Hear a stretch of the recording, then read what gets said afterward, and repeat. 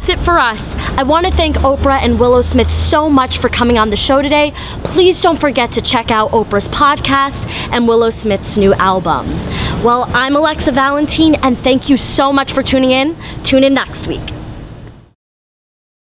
All right, well, we have to take a quick break, but when we get back, I'll be interviewing Oprah, and later on in the show, Willow Smith will be coming on to introduce her new album.